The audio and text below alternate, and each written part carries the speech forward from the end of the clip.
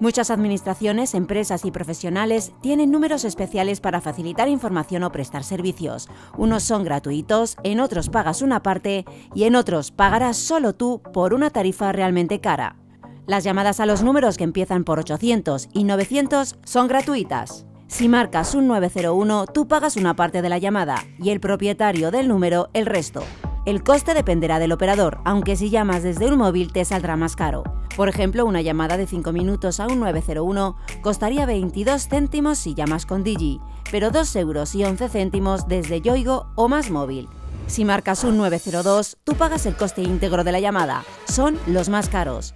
Estos números ya no se pueden utilizar para ningún servicio de atención al cliente, por eso, cuando una empresa lo utilice para otro tipo de servicios, deberá añadir obligatoriamente otro número con prefijo geográfico.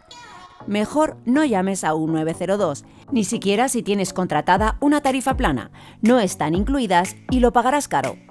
Por ejemplo, una llamada de 5 minutos te costará aproximadamente 3 euros desde un móvil y más de 1 euro desde el fijo.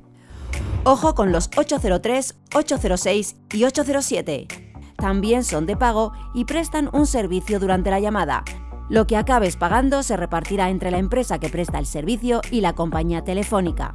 El tipo de servicio está definido por las tres primeras cifras, pero atención con la cuarta, cuanto mayor sea, más pagarás.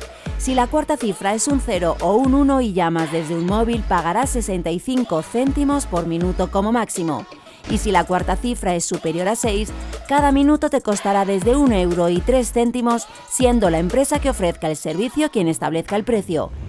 Para más información, entra en ocu.org.